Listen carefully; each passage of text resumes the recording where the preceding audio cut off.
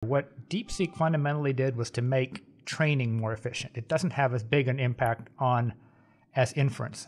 Once inference becomes more efficient, um, then it's going to become much less expensive to you know to ask to ask you know, to ask questions to apply it.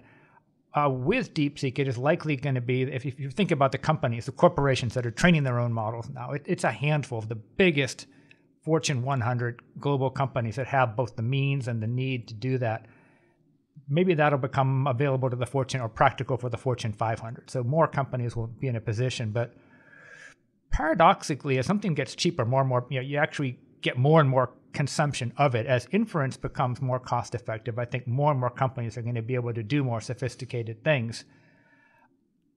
Their companies now are running into the same challenge that we ran into in the early days of cloud, which is, oh my God, that cloud bill is yeah. pretty big, and inference remains expensive. And so I think we're going to see have to see that same innovation applied innovation applied on the inference side to drive much more significant adoption. Because at some point, if everybody in the company starts using it all the time with the current generation of models, it's going to be prohibitively expensive. Yeah.